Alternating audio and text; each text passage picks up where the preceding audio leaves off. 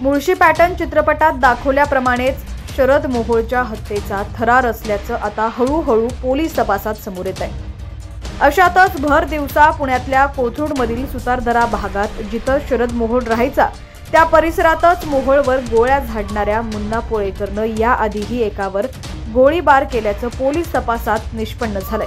त्यामुळे तो गोळीबार जर पोलिसांना वेळेत कळाला असता तर आज शरद मोहोळ वाचला असता असंही बोललं जात आहे शरद मोहोळची हत्या ही मुन्ना पोळेकर आणि नितीन कानगुळे यांनी अत्यंत नियोजनबद्ध पद्धतीत आणि शांत डोक्यानं केलेली दिसते कारण मुन्ना पोळेकर हा वयानं जरी वीस वर्षाचा असला तरी त्याच्या डोक्यातलं गँगवॉर हे कायम सुरूच होतं असं दिसतंय. कारण शरद मोहोळनं नितीन कानगुडे याचा दहा वर्षांपूर्वी केलेल्या अपमानाचा बदला त्यांनी आता घेतलं तेही शरद मोहोळला संपवून. पण आता याच प्रकरणातील एक महत्त्वाची आणि धक्कादायक माहिती समोर येते ते म्हणजे शरद मोहोळला संपवणाऱ्या वीस वर्षाच्या मुन्ना पोळेकरनं मोहोळच्या हत्येच्या काही दिवसांपूर्वीच अजय सुतारवर गोळीबार केला होता. पण तो गुन्हा बाहेर आला नाही आणि पुढे शरद मोहोळची पाच जानेवारीला हत्या करण्यात आली.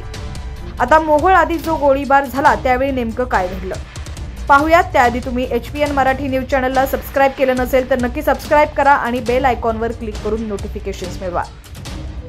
तर मुन्ना पोळेकरनं ज्यावर गोळीबार केला तो म्हणजे अजय सुतार. हा अजय सुतार नितीन कानगुडेचा मित्र. नितीन कानगुडेनं अजयला चांदणी चौकात भेटायला बोलवलं. त्यानंतर तिथून अजयला घेऊन मुन्ना पोळेकर नितीन कानगुडे हे भुगावातील कानगुडेच्या घरी गेले.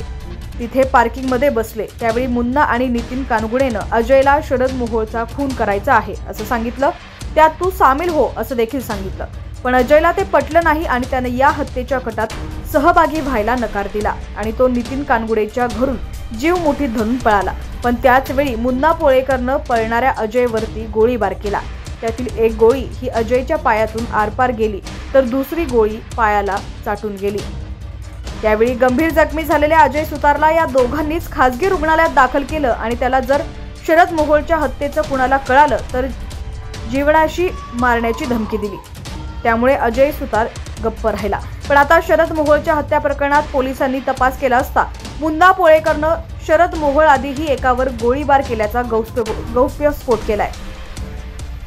त्यामुळे आता मोहोळच्या हत्येआधीच्या घटना एक एक करून पोलीस तपासात समोर येत आहेत. तरी नुकतंच पोलिसांनी आरोपींना आर्थिक मदत करणाऱ्या एकालाही जेरबंद केल्याची माहिती आहे. तर त्यांना पिस्तूल पुरव- पुरवणाऱ्या दोघांनाही अटक करण्यात आली त्यामुळे आता शरद मोहोळ प्रकरणात आणखी काय काय कंगोरे समोर येत आहेत हे पाहणं महत्त्वाचं असेल.